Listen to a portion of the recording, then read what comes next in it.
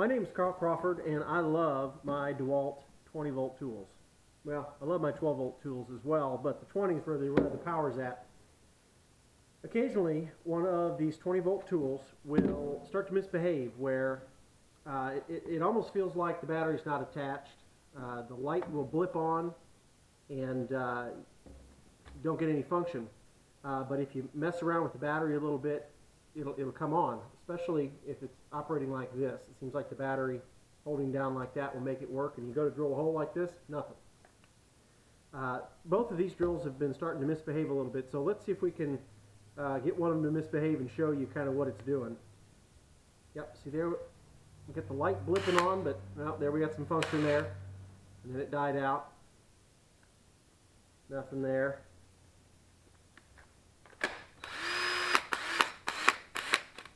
Then it'll work for a while, then it'll stop working. And of course, when it stops working, it's when you need it.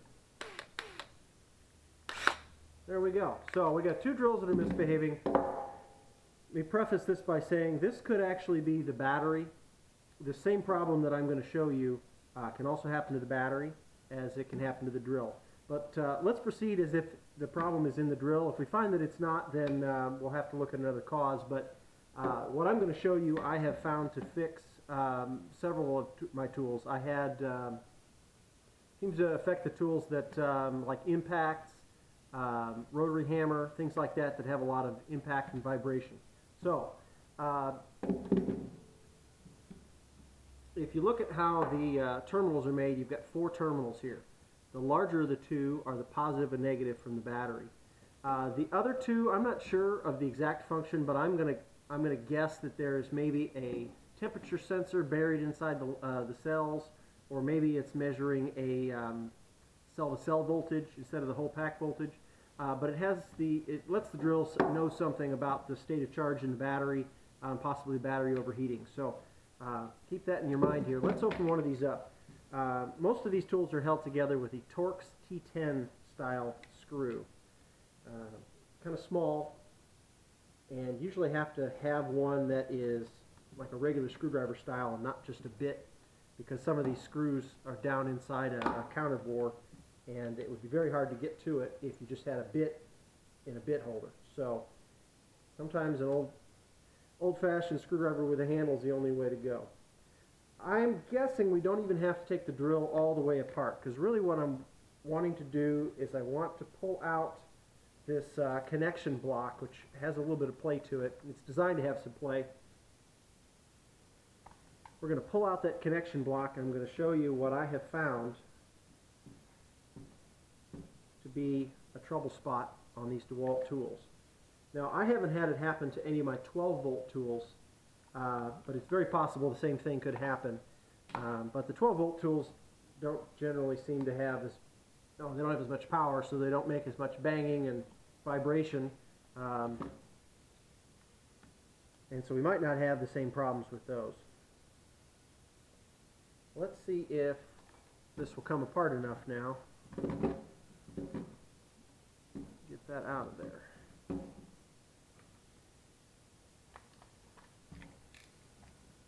Looks like there's a sticker across here that we'll have to, well, we can go ahead and cut it.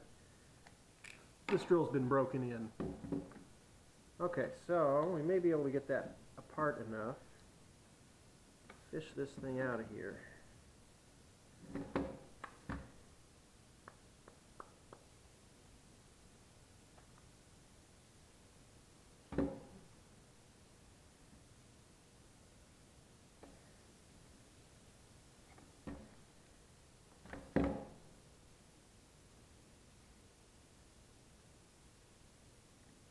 Have spoken too soon.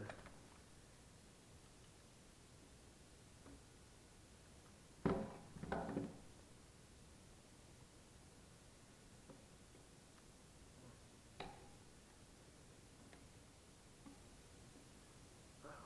Almost. Okay, there we go. Okay, be nice if this was out in the open a little bit more, but um, can show you what we're going for here. So you've got these four terminals, four wires. The large wires on the outside, those are the power. Black and red, that's the main 20 volt power. But these other two wires, these two small wires, um, those are just like a signal wire something like that. That's where I normally see the problems. And let's cut off this heat shrink and we'll see if that is the case.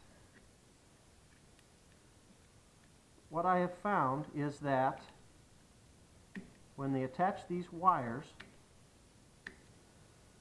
they strip the wire, they wrap it around the terminal post, and they flux and solder it.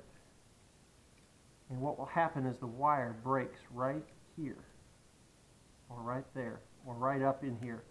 Uh, because what, what happens is when they put the flux on the wire, and then they put the solder on it, the solder sucks up the wire uh, where wherever the flux is. And so what you end up with is a flexible wire, a normally flexible wire, which when it comes up to this point right here is now rock hard because it has the, the solder wicked up the wire.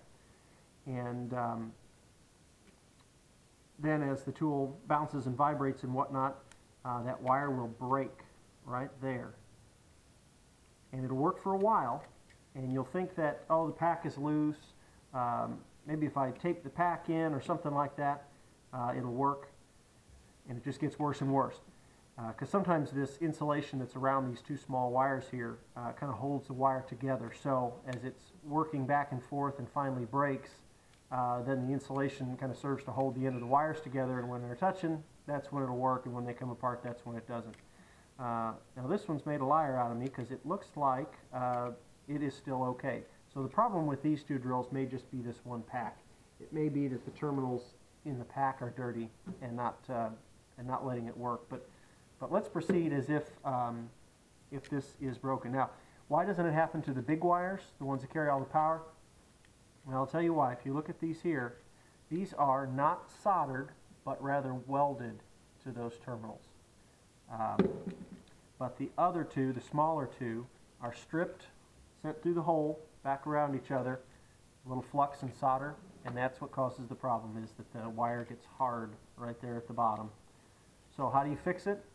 Uh, well, you put it back just like the factory did. Cut the wire off, strip it back a little bit, uh, and resolder it on there. So uh, if you come across one of these tools that is showing that problem, that's the first place I would check. Uh, like I said, this one's made a liar out of me, but uh, I've probably fixed four or five tools uh, with, with that, at where they've broken right there at uh, one of those two small wires. So um, I hope that uh, helps somebody and gets their tool running again.